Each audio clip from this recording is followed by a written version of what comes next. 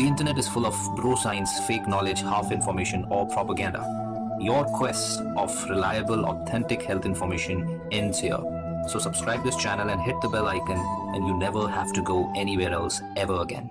नमस्कार आदाब सत श्री अकाल कैसे हैं आप दोस्तों मैं हूँ डॉक्टर परमजीत आप देख रहे हैं डॉक्टर एजुकेशन दोस्तों आज हम बात करने वाले हैं ह्यूमन पैपिलोमा वायरस के बारे में ये वही वायरस है जो आपके शरीर में कई प्रकार के कैंसर का कारण बनता है और ये बहुत कॉमन भी है, हो सकता है आपके शरीर में भी मौजूद हो। आज हम बात करेंगे ये एच वायरस होता क्या है, उसका टेस्ट क्या होता है एच वायरसेस के टाइप क्या होते हैं और उसके विमेन और मेन के अंदर दोनों में मौजूद हो सकता है। इसके वजह से होने वाले कैंसर्स कौन कौन से होते हैं, इसके टेस्ट कब यूज़ होता है, इसका टेस्ट कैसे और कहाँ क्यों किया जाता है और किसको ज़रूरत है इसके टेस्ट करवाने की और इसका प्रोसीजर क्या है टेस्ट का प्रिकॉशंस क्या लेना है? टेस्ट से पहले क्या नहीं करना है? और रिज़ल्ट आपका नॉर्मल है नेगेटिव है या पॉजिटिव है? तो उसका क्या मतलब है? पॉजिटिव है तो आप क्या करें? आपको कैंसर होने का रिस्क है कि नहीं है? और पॉजिटिव आता है तो कैसे आगे बढ़ें?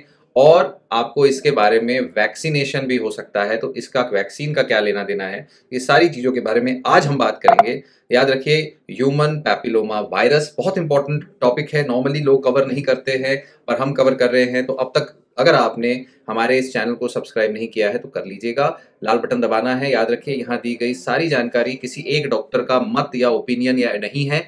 ये यूएस नेशनल मेडिकल लाइब्रेरी से अप्रूव्ड ट्रस्टेड ट्रस्टेड इंफॉर्मेशन है, जो रेफरेंस इंफॉर्मेशन है, वही आपको दी जाती है। ठीक है?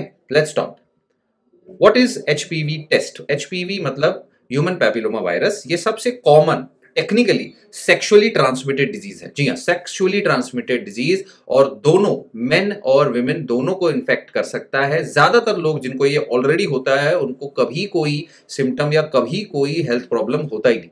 ज़्यादातर लोगों में। टाइप क्या होते हैं और सेक्सुअली कैसे ट्रांसमिट होता है, वो भी समझेंगे। There are many different types of H और उनके वजह से बीमारियाँ हो सकती है। लो रिस्क एच में से आपको वॉट्स हो सकते हैं। जेनाइटल एरियाज़ में, कई बार मुँह के आसपास वॉट्स दाने हो सकते हैं ग्रोथ हो सकती है। और लो रिस्क एच से आपको आर्म्स पर और हैंड्स पर फीट पर फिंगर पर कई जगहों पे वॉट्स हो सकते हैं, जो काफ़ी सिंपल होते हैं, कोई मेजर सीरियस नहीं होता है और वो कई बार अपने आप ही चले जाते हैं। तो एक माइनर कई बार उसमें अगर आपको निकालवाना हो तो छोटा सा ऑपरेशन प्रोसीजर करके छोटे से इससे दो ओपीडी बेसिस पे भी निकल जाता है माइनर ऑफ़िस प्रोसीजर पे। हाई रिस्क एच वो होता है जहाँ पर वो सिम्टम जो है खुद से नहीं जा रहे हैं और लॉन्ग लास्टिंग इन्फेक्शन हो रहा है, दाने ही आते जा रहे हैं ग्रोथ आते ही जा रहे हैं वॉट्स आते ही जा रहे हैं, ऐसे केस में वो कैंसर का रूप धारण कर सकता है।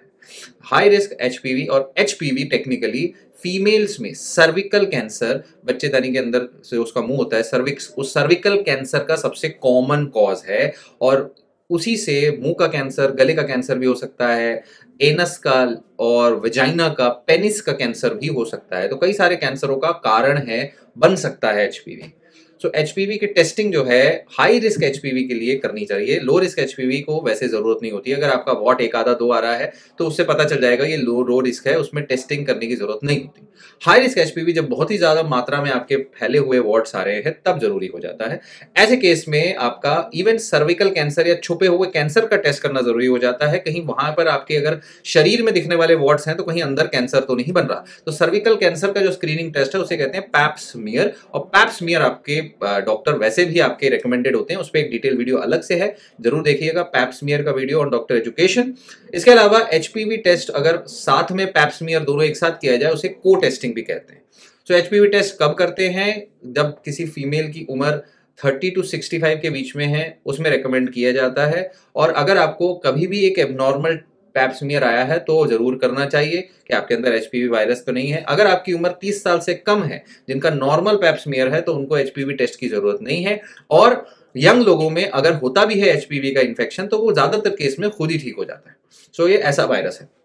इसके टेस्ट करने के लिए याद रखिए कि आप एच के टेस्ट के लिए आपके डॉक्टर जो है, आपका नीज बेंड करवा के आपको रेस्ट करवाएँगे सपोर्ट करवाएँगे, लेटाएँगे और प्लास्टिक एक स्पेकुला को आपके विजाइना में डाल के आपके सर्विक्स को थोड़ा सा देख सकते हैं वो और उससे एक सॉफ्ट से ब्रश से स्पेचुला से वो कलेक्ट करेंगे सर्विक्स के आसपास से कुछ टिश्यू जिससे आपका पैप स्मियर और एचपीवी टेस्ट दोनों वहीं के वहीं से हो जाएगा। और आपके एक और सैंपल लिया जा सकता है, कई बार लोग अगर बोले तो एक सैंपल से नहीं हुआ तो दूसरा। यानी पैप स्मियर के लिए भी वहाँ से और एचपीवी टेस्ट के लिए भी वहाँ से सैंपल लिया जा सकता है।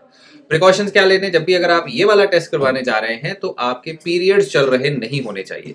आपने कोई कुछ दिनों मान लीजिए दो दिन पहले टेस्ट के दो दिन पहले से आपने टेम्पॉन्स यूज़ नहीं करना है वेजाइनल मेडिसिन या बर्थ कंट्रोल पिल्स यूज़ नहीं करना है फॉर डोज यूज़ नहीं करना है या दो दिन पहले से आपने सेक्स नहीं करना है, ये ध्यान में रखिएगा।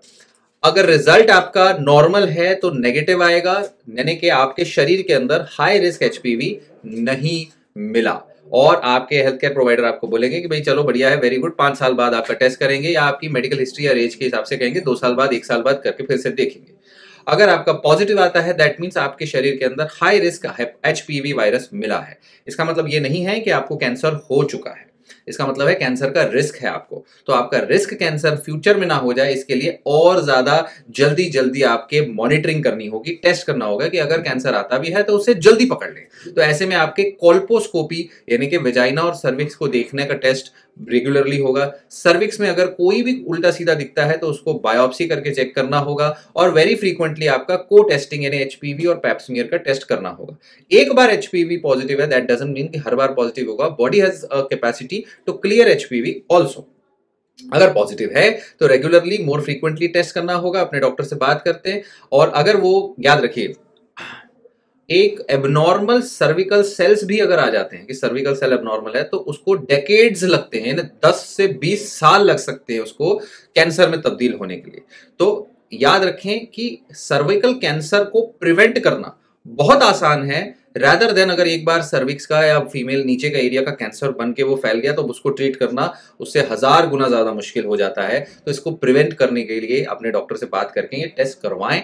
और याद रखें hepatitis sorry human papilloma virus के लिए कोई ट्रीटमेंट नहीं है, पर ज़्यादातर इन्फेक्शन खुद ही ठीक हो जाता है। अगर आप कर सकते हैं तो इसको इसको रेगुलरली टेस्ट कर सकते हैं। और सेक्सुअल प्रिकॉशंस अपने ले सकते हैं। अपना एक ही सेक्सुअल पार्टनर आपके रख, जितना कम सेक्सुअल पार्टनर उतना अच्छा और सेफ़ सेक्स करिए कॉन्डम का यूज़ करिए तो आपका रिस्क कम हो जाएगा। एच वैक्सीन भी आती है। वैक्सीनेशन और ज़्यादा इफ़ेक्टिव है। एचपीवी की वैक्सीन सेफ़ इफ़ेक्टिव वे है, जिससे आप अपने एच पी इन्फेक्शन को बढ़ने से रोक सकते हैं। वैक्सीन बेस्ट वर्क करती है अगर वो तब दिए जाए जो कभी वायरस से एक्सपोज नहीं हुआ हो।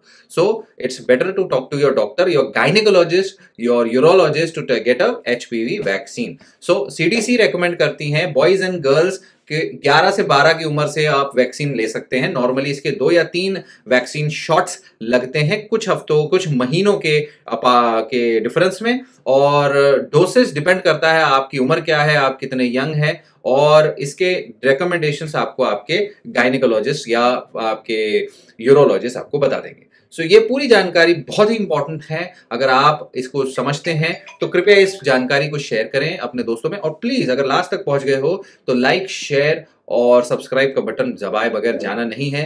Thank you so much this is doctor Paramjit stay connected stay healthy